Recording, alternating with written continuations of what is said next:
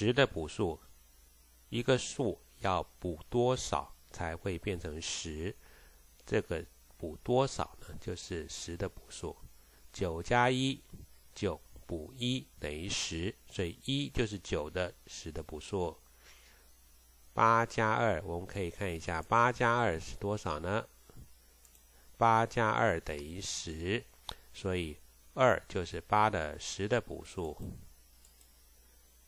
七加三等于十，三就是七的十的补数。六加四等于十，所以四就是六的十的补数。五加五等于十，所以五就是五的十的补数。好，一个数加另外一个数加起来等于十，所以这两个数呢就是互为十的补数。九加一等于十，所以九一一九互为十的补数。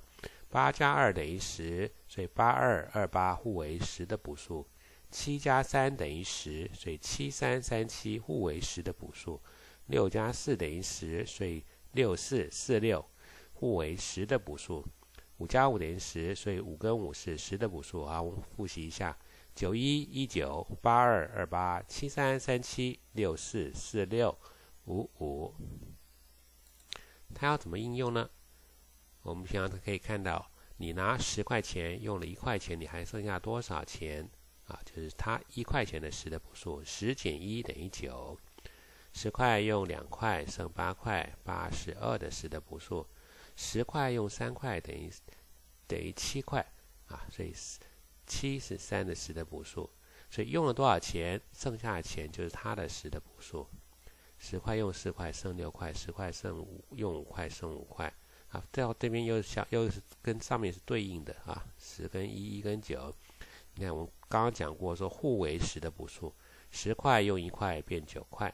同样的，十块用九块变一块，十块用两块变八块，这边十块用八块变两块，都是一样的。十用三块变七块，十用七变三，啊，四六五五，啊，再熟悉一下，一九九一二八八二三七七三四六六四五五，好，这些就是十的补数的用法。